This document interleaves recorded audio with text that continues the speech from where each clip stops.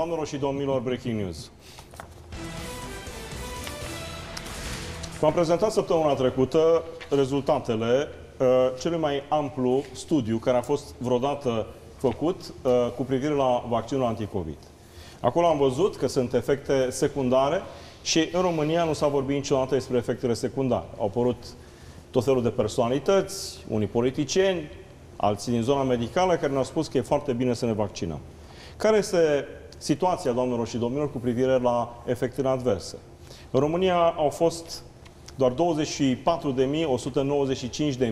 nu sunt puține, de efecte adverse comunicate mai departe. În realitate, pe datele pe care noi le avem, au fost de fapt în România peste 40.000. În România s-a dat interzis ca aceste efecte adverse să fie vreodată prezentate public. Un lucru care nu este doar imoral, ci este și ilegal. Ei bine,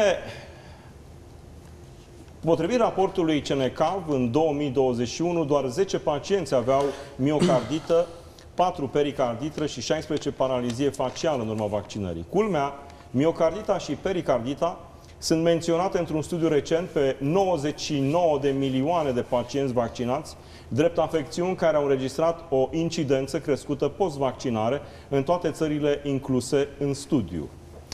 Numărul mic de pacienți cu efecte secundare pare greu de acceptat și dacă ținem cont doar de numărul de oameni care ne-au scris și ne-au vorbit despre aceste probleme de sănătate pe care le au acum după vaccin și această statistică nu ține. Priviți, vă rog, ancheta, iar domnul avocat să ne spună, din punct de vedere legal, nu trebuia să știm toate aceste efecte adverse care erau previzibile de dinainte și de ce au fost ele ascunse în România, așa cum, din păcate, totul în România trebuie să fie la secret. Priviți ancheta.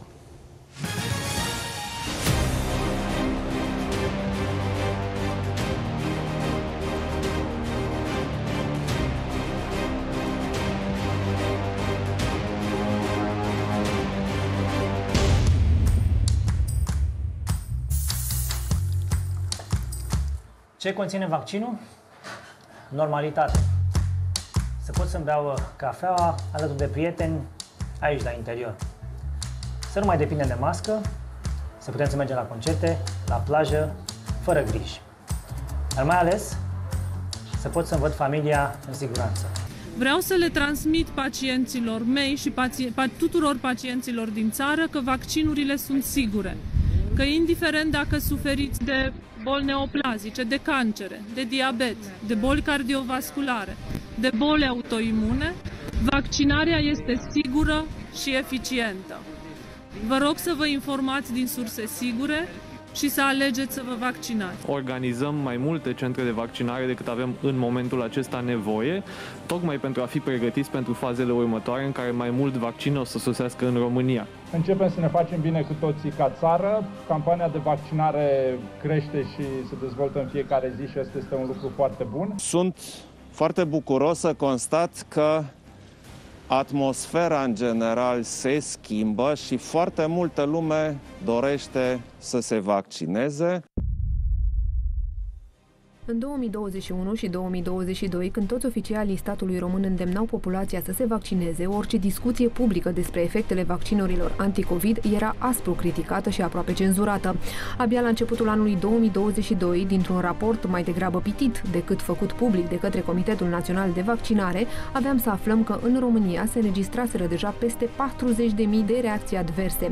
Raportul fusese publicat pentru o perioadă scurtă de timp în meniul online, apoi a dispărut complet și odată cu el și dezbaterea publică despre pericolul efectelor adverse, dar și despre cum pot fi ajutați cei care se confruntă mai ales cu boli cronice de pe urma vaccinării. Pe înțelesul tuturor, românii au fost lăsați să se lupte singuri și pe cheltuiala lor cu bolile care le-au dat efectiv viața peste cap. Am verificat datele pe care le-a raportat România la Agenția Europeană a Medicamentului. 24.195 de români s-au plâns autorităților de efecte adverse post-vaccin anticovid. Dintre aceștia, potrivit raportului CNCAV, pe care și noi îl avem, la final de 2021, doar 10 pacienți aveau miocardită, 4 pericardită și 16 paralizie facială în urma vaccinării. Culmea, miocardita și pericardita sunt menționate în cel mai amplu studiu făcut post-vaccinare pe 99 de milioane de de pacienți vaccinați ca fiind afecțiuni des întâlnite după vaccinul anticovid în toate țările în care a avut loc studiul. Numărul mic de pacienți cu efecte secundare pare greu de acceptat, având în vedere câtă lume ne-a scris și ne-a povestit ce a pățit după ce s-a vaccinat, adică ce probleme de sănătate au acum. Dar nu toți au parafă, pentru că niciun medic nu a vrut să-și asume legătura dintre vaccin și problemele de sănătate. Neoficial însă, după cum ne-au povestit toate cazurile noastre, toți au spus că vaccinul este de vină. Noi am stat de vorbă și cu președintele Agenției Naționale a Medicamentului din România pentru a vedea cum s-au făcut aceste raportări de efecte adverse în timpul pandemiei. Unde ajungeau toate raportările efectelor adverse pe care le făceau românii în perioada pandemiei? Cele mai multe ajungeau la Agenția Națională a Medicamentului, o parte dintre ele ajungeau direct la Institutul Național de Sănătate Publică. Informațiile pe care le validam uh, la nivelul Ce agenției se erau urcate în uh, baza de date europeană privind uh, informațiile, reacțiile adverse suspectate la medicamente.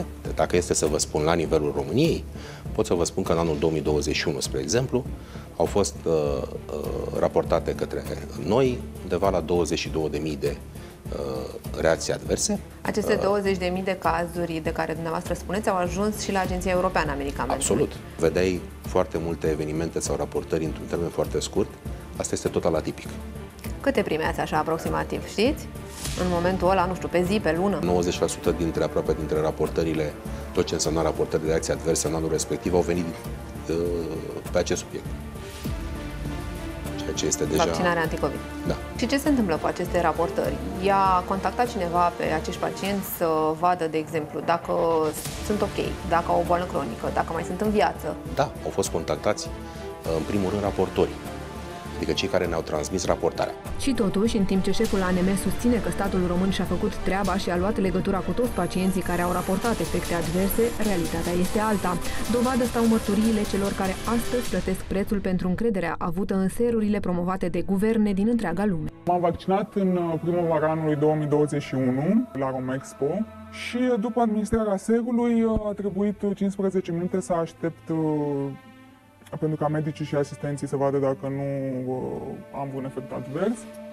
Uh, la mine s-a întâmplat în 5 minute. Am fost vaccinat în mâna stângă și uh, nu am mai simțit uh, mâna după vreo 3-4 minute. Uh, am oțel furnicături, uh, ele s-au extins și la membrele inferioare, apoi la mâna dreaptă, au cuprins între, între corpul și uh, fața. Am vrut să mă duc spre asistentă să anunț dar n-am ajuns și am căzut pe jos. Au venit repede vreo 10 doctori, aveam tensiune 19, de obicei am 8-9, deci era o valoare foarte mare, s-au speriat ca să nu fie un accident vascular cerebral. Nu mai simțeam absolut deloc corpul. Am sunat la SMURD, a venit salvarea și știu că am ajuns la spitalul Elias. Mi-au spus că nu au ce face cu parestezile și că nu au un medicament anume care să le atenueze sau să le elimine. Era clar un efect advers al vaccinării. Am plecat acasă, mi-a apărut și o tensiune intraoculară, mi s-au spart vasele de sânge de la ambii ochi. Uh, aveam... Asta la cât timp? La câteva zile după, la vreo 3-4 zile după administrarea serului Pfizer. Și uh, știu că mă usturau foarte rău uh, și uh, nu puteam să citesc. Am repetat remeneu. Uh, nu a ieșit nimic uh, în plus față de ce știam, evident, deci era doar un efect al serului administrat. În toată această perioadă am, țin, am ținut legătura cu persoane din apropierea Comisiei de Vaccinare care ne-au dat diferite medicamente în încercarea de a atenua, atenua efectele vaccinului dar uh, nimic n-a funcționat. Mi-au spus uh, să nu mai fac următoarea doză, însă nu am avut acces în uh, centre comerciale, în instituții publice. Am fost privată de lucrurile astea în condițiile în care îmi doream să fac, să mă vaccinez și nu era o reavoință ca să-mi fie interzise aceste lucruri. Ai raportat aceste efecte adverse? Da, evident și mai departe nu ai primit niciun putut fi, da, nici ajutată, nici interogată. Și acum, la 2 ani de la vaccinare, te simți diferit? Mă simt diferit în sensul că mai am uh, aceste parestezii generalizate, nu există un medicament care să mă ajute să le depășesc, doar trebuie să aștept să treacă timp ca ele să dispară. Un alt pacient povestește cum i-a luat-o inima la galop după vaccinare. La urgențe, după a doua doză, i-au spus că are inima mărită. Nici până astăzi nu i s-a explicat ce s-a întâmplat în corpul lui. Știe doar că va trebui să ia tratament pentru toată viața, pe banii lui. Când ai decis să te vaccinezi?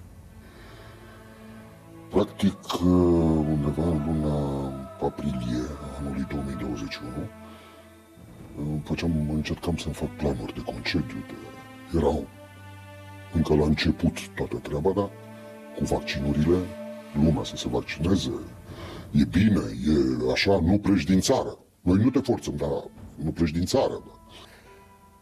Cu ce ser ai ales să te vaccinezi? Sincer, nu m-am uh, orientat să aleg eu. Nu, am zis unde se vaccinează, unde-i prăvălia, unde se dau vaccinări. La piața Constituției, vii cu mașina și am zis, bă, să mă vaccinez. Cât m-am învârtit să ies de acolo,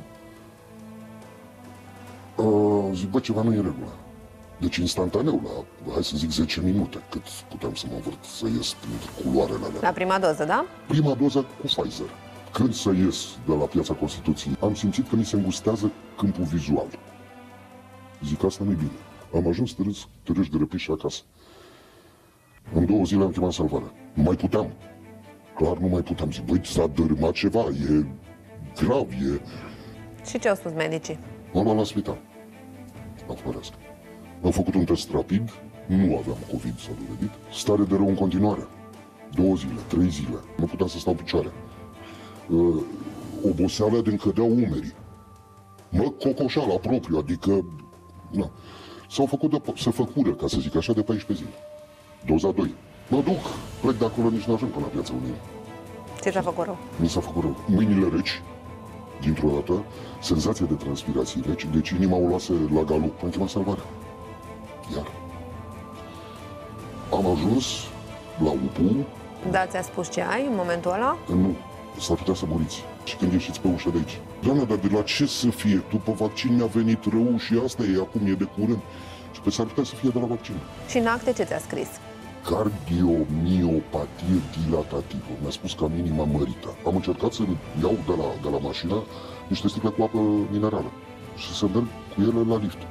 Am zis că mor la ușa liftului. Pe o zi. Nu spun cât costă. Acum, dacă ar fi să dai timpul înapoi, te-ai mai vaccina? Glumești. nu.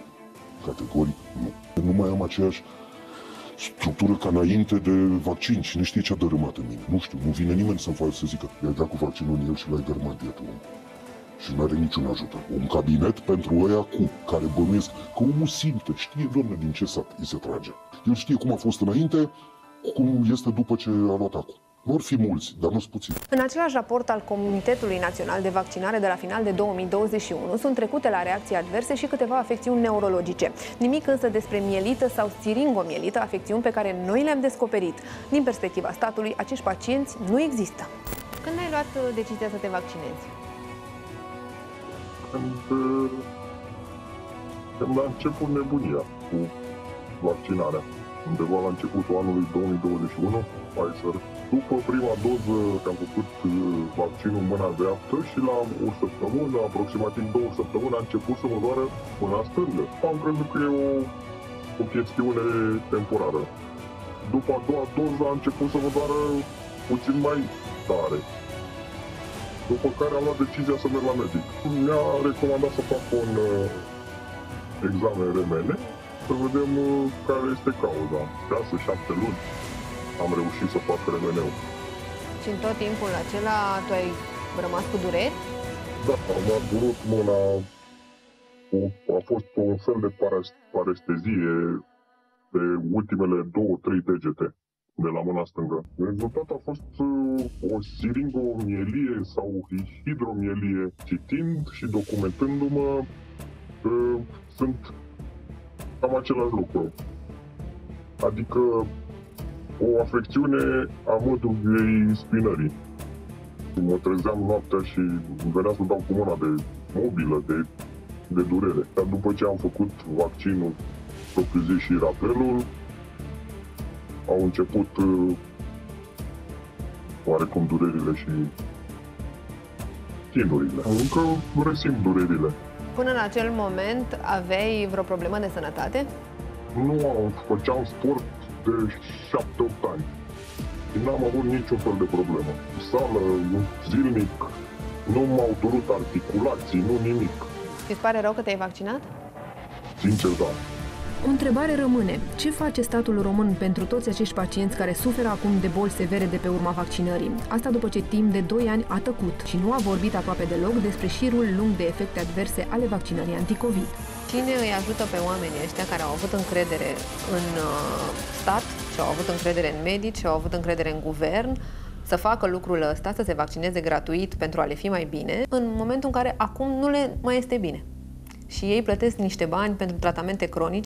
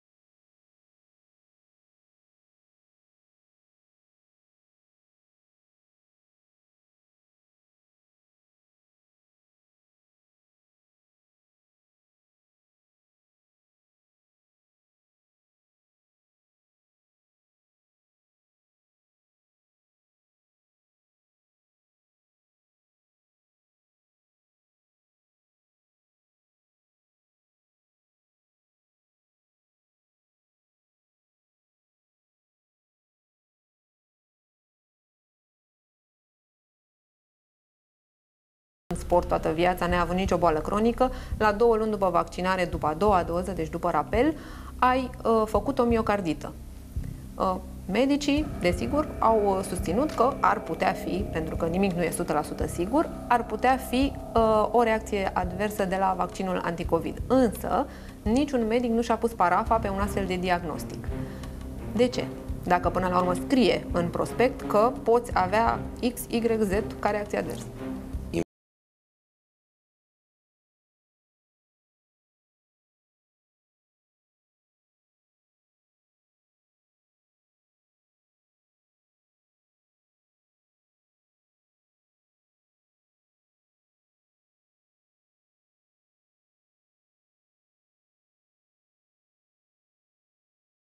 Se face tocmai ce, uh, multidisciplinar, Deci rămâne la latitudinea medicilor cu siguranță. să-și pună parafa pe un astfel de diagnostic. Cu siguranță. Iar medicii nici nu confirmă, nici nu infirmă. Niciunul dintre noi nu putem să spunem atâta vreme când nu avem niște studii, că noi toți ne bazăm pe studiile care apar. Niciunul dintre noi nu ne putem baza pe uh, faptul că a apărut sporadic un caz. Nu putem nega că poate să determine posibil inflamație această vaccinare la un pacient care posibil să aibă un teren autoimun. Că nici asta nu știm. Că noi toți n-am fost testați înainte să vedem, băi, tu ai putea să faci Deci inflamația pe care o dădea boala, Da. același lucru s-ar fi putut se întâmpla, și în de la momentul vac- vaccinării. Lucrurile cumva întotdeauna sunt într-o zonă gri, poate peste 50 ani aflăm mai multe date, date care să susțină atât infecția cât și vaccinarea. În această zonă gri rămân doar pacienții cu greutățile lor, cu o viață dată complet peste cap, pacienți lăsați de izbeliște de un stat care nu le-a oferit o informație completă și corectă despre vaccinare și efectele ei. Orice voce care a pus atunci întrebări despre siguranța vaccinului și posibile efecte secundare a fost acuzată de dezinformare și etichetată. Chiar și acum, când lumea medicală de peste granițele țării vorbește răspicat despre chinul pacienților care s-au îmbolnăvit după vaccin, în România autoritățile sunt înțepenite în evitarea asumării oricărei răspunderi, iar pacienții rămân vaccinați și abandonați.